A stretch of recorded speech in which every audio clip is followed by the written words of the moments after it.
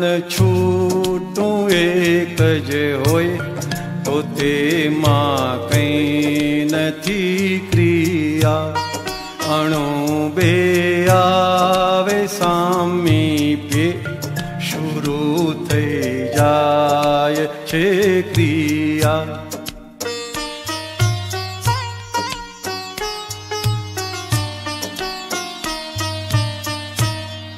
અણુ બે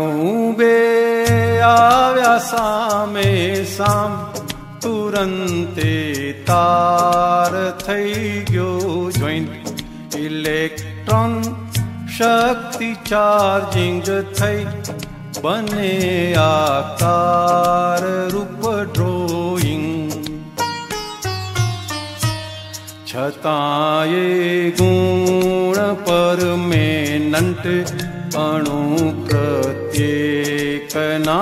जुदा, अणु परमाणु सामीप्ये रूपाकार कुदरती मूर्ता।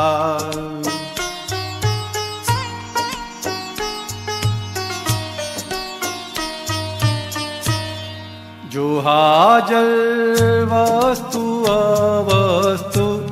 समीपे भेगी थई ભેગી થઈ ઉપજાય અને પરિણામે જે વિશેષ બધું એ ઉદગલ કહેવાય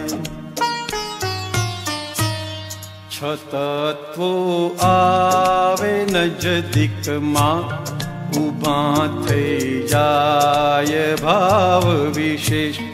રૂપી વિભાવ પરિણામો अकायम होय हर हमेश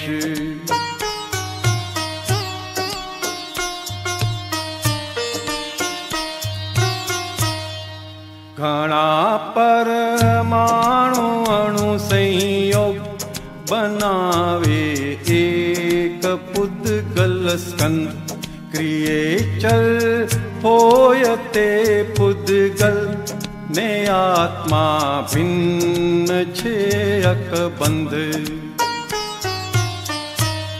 પૂરણ ને ગલન જે કરતા કશાયો સામીપ્યે ઉત્પન્ન ને મળતું બાળો છો ત્યારે બધા તત્વો છૂટા જ ભમન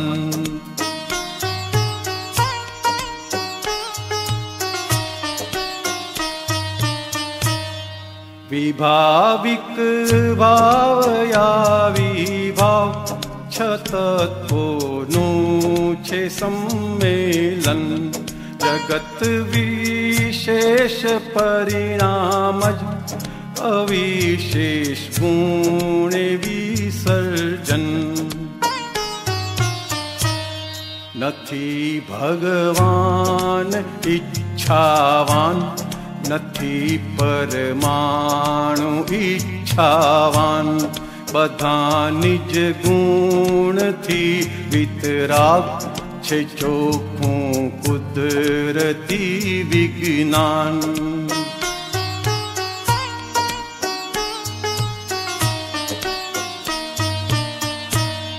લીધું છે જેણે દાદા જ્ઞાન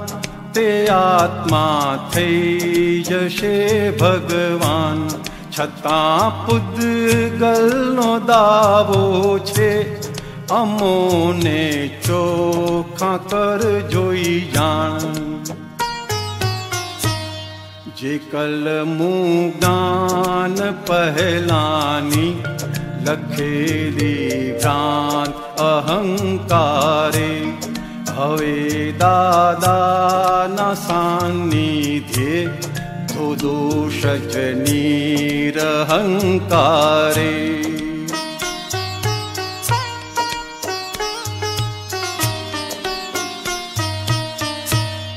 कषायो रागने द्वेषो नी कायं न अवगुणो। स्वभावी स्वरमणवदता